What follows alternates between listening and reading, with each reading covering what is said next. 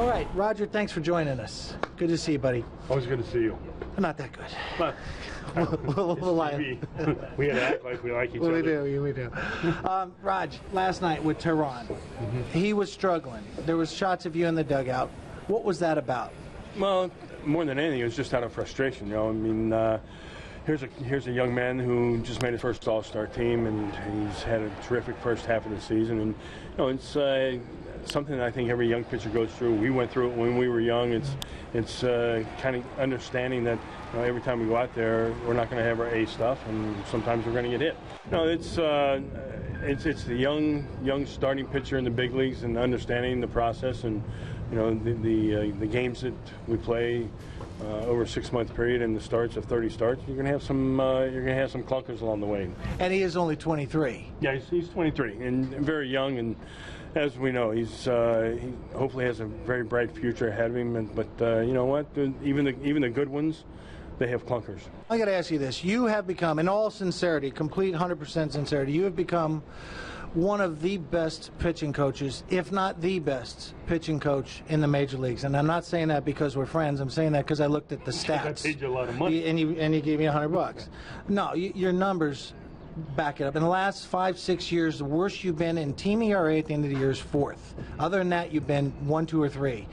With a staff that's rolled over a lot, what is it that you value? I really don't think it's so much me. I think it's the, the environment you create. I think uh, when you when you create an environment, uh, as our, our club does, uh, the organization does, you, you create an environment of uh, of comfortable, um, knowing that the young pitchers, especially young pitchers, are going to make mistakes.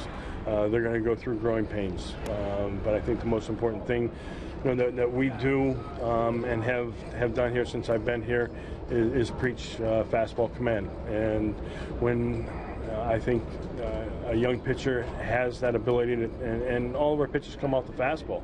You know, and and uh, if we're not able to command a fastball, you, you know, you hear good pitchers at the end of a good game, starting pitchers especially, they, you you say, well, you know, what was working? Well, you know what? I, I commanded my fastball and he, real good. And and, uh, when I was in behind counts, I was able to make pitches, um, not only with the fastball but with the off-speed pitches. So, you know, we we've done a great job uh, in this organization of um, promoting young pitchers.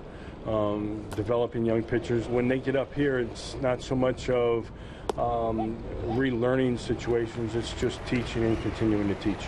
What is it that makes you guys so competitive each and every year, starting with your pitching staff? What is that little ingredient, or is there not one, or is it just because you're just so talented? If we seriously, if we knew that, we uh, we wouldn't be doing this, you know. And I don't know. I mean, it's just um, you know the competitiveness that that uh, drives you each and every day. I mean, this game really is. Um, although it's a game, we know at the end of the day, you know, your battle. It's a battle, and and you go into battle and you go out there and and you battle for nine innings, and hopefully at the end of the day you're on top and you score one more point than the other team.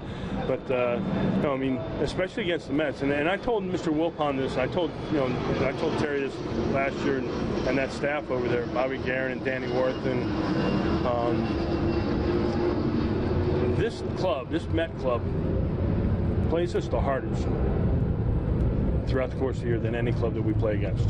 And it's just, you know, it's it's a grind and it's a battle and it's you know I don't want to say it's a war because it's not a fair fair assessment, but it's it is. It's you know you, you throw your heart out there and and uh, leave your heart out there in, in the game, and you know at the end of the day, you know you can look at the mirror at the end of the day and say, you know what, I, I gave everything I had today.